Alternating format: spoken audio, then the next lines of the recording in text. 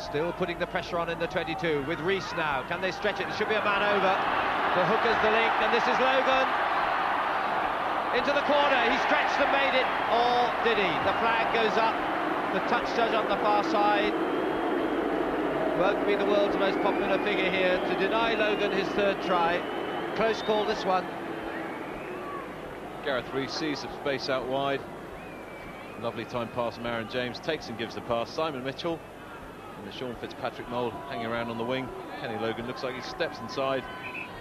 Let's see what happens here. Does he get the ball down? Good decision from the touch judge.